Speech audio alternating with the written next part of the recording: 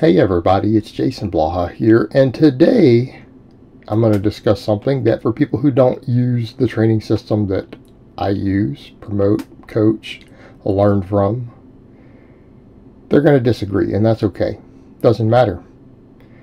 I've got a pretty big squat, still getting better, and I have plenty of lifters who are getting pretty big squats too. And I know plenty of guys who use these methods and have squats that most of you would consider to be unobtainable. And that's the whole point that speed squats and good mornings really are the key to building a big, powerful squat. I believe that's your foundational work. Now, I'm not saying some quad work can't help, but I don't think most of you need to actually spend a lot of time doing quad work if you're in shape. Uh, in other words, sled drags, plyometrics, things like that will give you all the extra quad that you need beyond your actual speed training. Okay. Your speed training will build quads. It will build quads.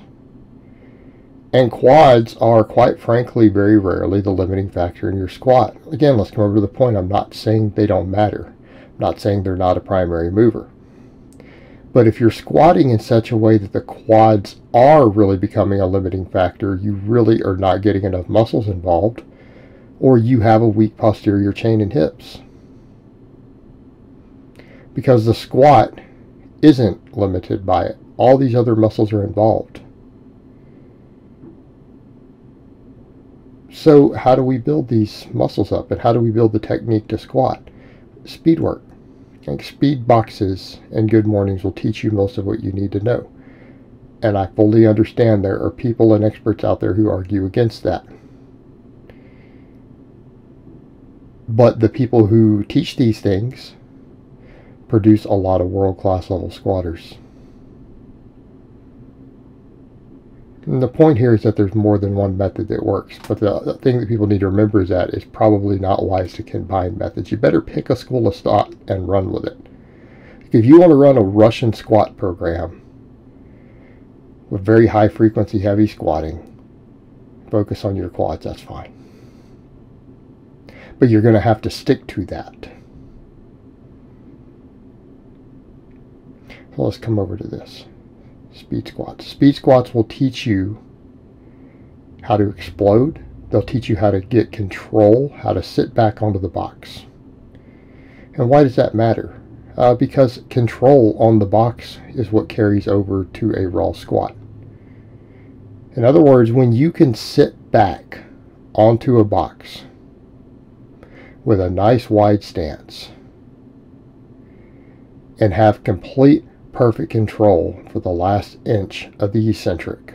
And you can unload your hips while still staying tight and then drive yourself up and externally rotate the hips and drive your feet out while exploding. That will carry over to a back squat. Okay? You will have complete and perfect carryover to a back squat on that because the back squat is actually easier to perform than the box squat. A properly done box squat. Now this is me hitting almost a max here. Uh, I haven't really tested a true max lately on this. I'm ramping up to real close. And yes, I did have a world-class level coach look at this particular lift for me. That's the beauty of having friends. So I'm going to tell people, and this is why they don't like it when I say this, if you don't squat at least seven or 800 pounds, I don't really need your input. Because I have guys who squat that much who look at my lifts. So why, why would I need someone else to look at it, right? Not useful. Or have a thousand pound squatter look at your lift. Um, and that's usually what I do personally. So I am I am coached on my stuff too. But if you notice what I do there, it's control. Control, sit back. Notice my knee goes all the way back.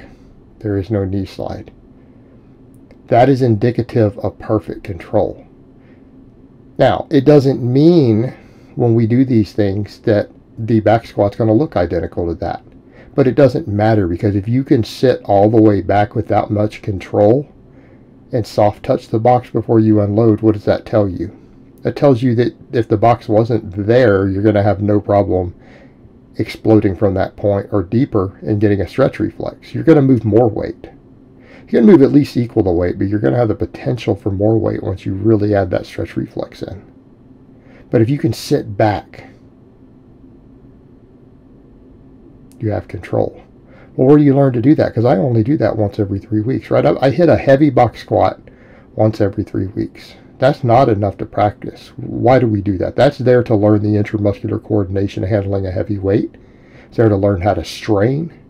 It's there to learn how to get used to a big heavy weight on top of you. The actual movement and the power is learned off the speed work. We do a lot more volume. Like this speed work here is 5 by 5 Done weekly. And we have to learn how to get tight. We have to learn how to get that technique and drive as hard as we can and then hit those super heavy bands. So we have to explode into those bands. Now you may not have bands and, and that's okay. You've got to make other stuff work. You can still do straight weight. It's just a different animal. You learn how to explode off that box. You learn control. You learn power. All right, so how does a good morning fit in? What do we do on a good morning? We learn to push our hips back and then drive up. Think about what we're doing on the box squat. Think of the muscles involved. This builds all the support musculature. Right? This builds the hamstrings, glutes, low back, upper back. This builds the foundation for a powerful squat. It doesn't build the squat movement itself. It builds a foundation for it. It builds all the stability builds the hamstrings. It teaches us how to hip hinge. It teaches us how to push our hips back. Builds our erectors, builds our upper back in such a way that we can support and drive through. Hey, if you're really, really, really strong at good mornings, you're never going to miss a squat from good morning and a squat either. If it starts to happen, you're just going to push through because you're used to locking through with a heavy weight. That's why Louie Simmons basically says that. If you can good morning as much as your max squat, then you're never going to miss that max squat at the top. It's not going to happen due to a forward lean. It teaches us how to push our hips back. And that's an important distinction that I noticed even messing with the box squats for me personally. As I learned to get really heavy, what do we define as really heavy? Exceeding your body weight. When you start hitting your own body weight or higher on a good morning for rep work, what happens? You are forced to push your hips back. You can't just bend over anymore. You're forced to really push that ass back. When we learn to push that butt back, again with vertical shins, that's what we have to do on the eccentric of the box squat. And when you learn to do it with heavy weight, we learn to push back and to sit back onto that box. We learn to have control. Control. You have to push your hips back and control the eccentric while keeping those shins upright. And when you can do that, any weight that you can handle on a box squat is going to turn into a joke when the box is removed and you just squat it and pop out of the bottom of the stretch reflex. But those speed boxes. It's the way to go to then build the foundation after that. People say, well, why? Why can't you just squat?